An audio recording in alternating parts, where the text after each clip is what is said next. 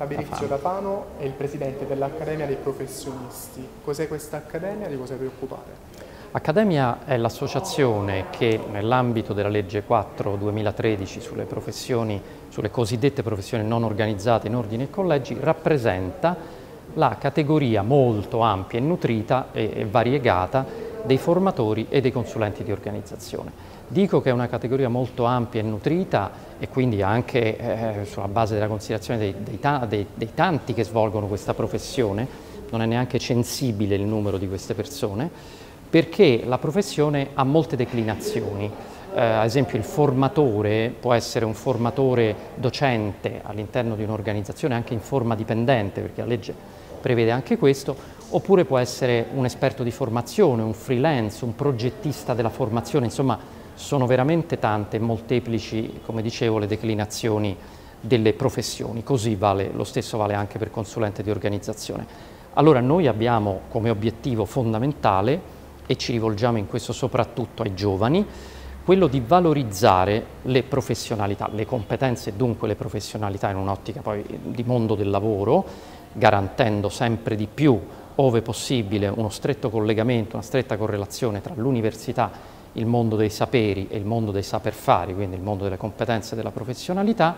e lo stiamo facendo attraverso innanzitutto una convenzione che è stata stipulata con il Centro di ricerca e di bilancio delle competenze dell'Università Roma 3, Dipartimento di Scienze della Formazione, e poi naturalmente anche con il lavoro che la nostra associazione, l'offerta di servizi che la nostra associazione propone, tra cui ad esempio il sistema di formazione permanente che dà la possibilità non solo ai giovani ma anche a coloro che questa professione la svolgono da tanto tempo di continuare ad aggiornare, a nutrire a coltivare la loro professionalità. Durante il suo intervento ha parlato dell'importanza di incrementare le proprie competenze, soprattutto in queste professionalità. Sì, sì,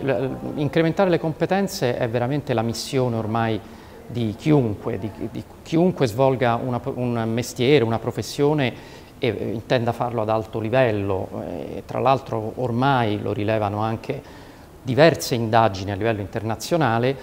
cioè, noi stiamo assistendo a un sempre maggiore scarto tra eh, le professioni ad alto livello di competenza, ad alta intensità di competenza